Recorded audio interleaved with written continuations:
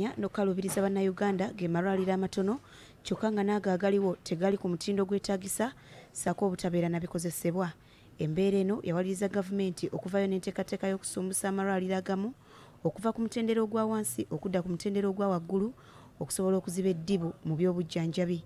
Okusinziira ku minisita omubeezi ow'ebyobulamu sarah opendi buli ggombolola mu ggwanga erina okubeera n'eddwaliro ku mutendera gwa health center 3 kyokka nga mu kiseera kino balina eggombolola ezisoba mu bibiri ezitalina malwaliro gano wabula nga bakufuba okulaba nga gonna gafuna amalwaliro agali ku mutendera guno. Fokasi yaffe oba kyetutunuulidde omwaka guno kwe kulaba nti tusookera kugombolola kubanga magombolola gayamba nnyo um, health center 3 ziyamba nnyo abantu abali mu kugombolola nga tebanaba kwongeramu town council zino empya local government zeyayongeddeko mu mbalirira yaffe twalina gombolola bibiri mu bibiri mu ataano ezitalina health center 3 so ezo zetwasalawo nti buli gombolola erina okubeera ne health center 3 wadde nga wabaddewo endowooza egamba nti buli ddwaliro ku mutendera gwa health center 3 lyakusumbusibwa litekebwe ku mutendera gwa health center 4 okusinziira ku opendi kino si kituufu.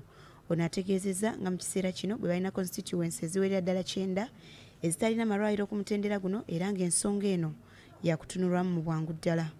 Kati twalina constituencies awali ababaka kyenda mu munaana ezitalina health center 4 kati awo tunoonyayo health center 3 emu mu constituency eyo ne tulifuula health center 4 so eyo yeteeka oba policy eya ministry ey'ebyobulamu wabaddewo ekizibu ky'obutaba na malwaliro mu bitundu by'eggwanga ebimu naddala ebiriraanye ebizinga n'emyalo nga wano minisita annyonnyodde bw'ati.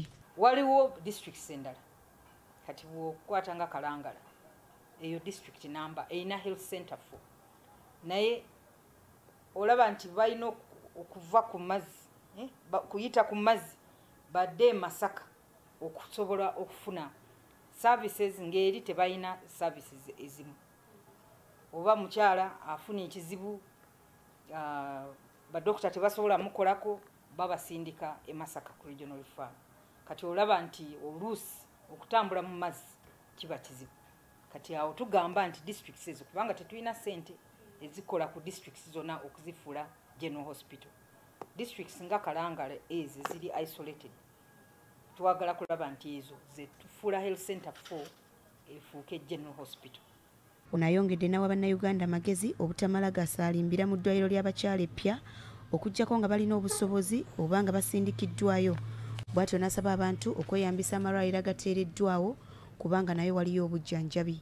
Atangaziza ne ku ddwaliro ery'emulago eriri mu kuddaabirizibwa nga bwe ligenda okuggulwawo ku ntandikwa y'omwaka ogujja wabula nga nayo terigenda kwawukana naly'abakyala okusinziira ku bujjanjabi n'ebisale byalyo.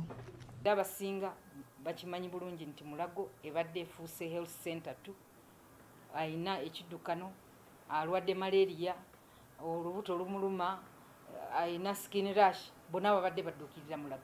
N'osanga mulago ng'afuuse kayoola. Kwe kusalawo nti kati mulago specialized kebeere mulago specialized ng'eraba abalwadde abasobola abatasobola kukolebwa malwaliro agawansi. Tusuubira nti omwaka ogujja mulago tujja digulawo naye nga tuligulawo okuwa services eziri specialized. So specialized services mu ggwanga lyaffe abantu balina okuzisasulira farida nakayiza bps 3 fina gambuuze